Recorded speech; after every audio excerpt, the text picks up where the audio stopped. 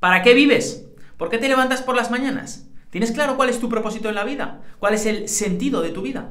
Si no tienes respuesta a estas preguntas, no te desesperes, porque has caído en la trampa de la sociedad moderna. Lo más probable es que te hayan condicionado desde niño a ser más superficial que un charco.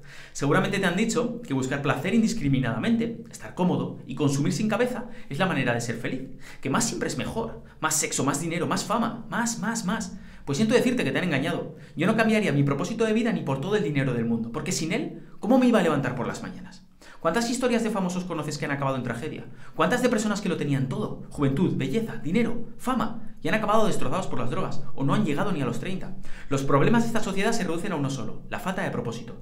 ¿No sabes dónde empezar a buscarlo? Te doy una pista. Deja de mirarte el ombligo, porque no está dentro de ti. El propósito, el sentido, está siempre fuera de ti, porque es más grande que tú, porque va más allá de ti y de tus deseos.